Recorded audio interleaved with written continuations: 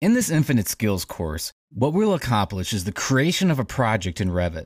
We'll start off with our walls, doors, and windows, as well as a gable roof, such as we see on this garage on the outside of the building. Then on the main building, we'll be putting in such things as floors, ceilings, light fixtures. We'll be wrapping it with a curtain wall assembly.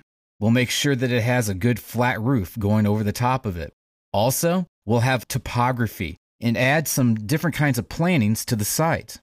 Beyond that, we'll learn how to use the basic functionality, such as zooming in and out, how to link CAD files into your project, and these CAD files will be AutoCAD files that we'll be bringing in.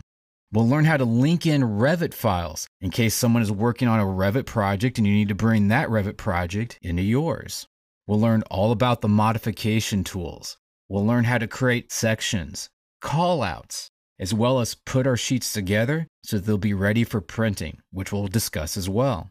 Then we'll talk about 3D views, how to do renderings, as well as how to export these drawings out to CAD after we've worked on them inside of a Revit environment. So I hope you enjoy this video series, and I look forward to teaching you and answering your questions in the future.